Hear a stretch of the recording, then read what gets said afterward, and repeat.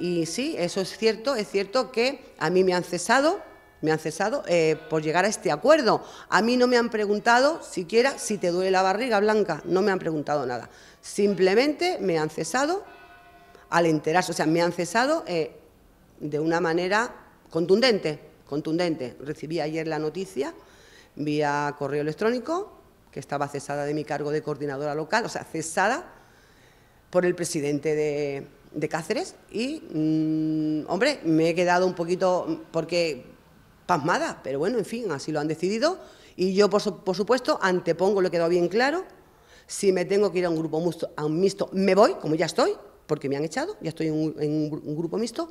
pero por supuesto mi pueblo y mis vecinos están antes de cualquier sigla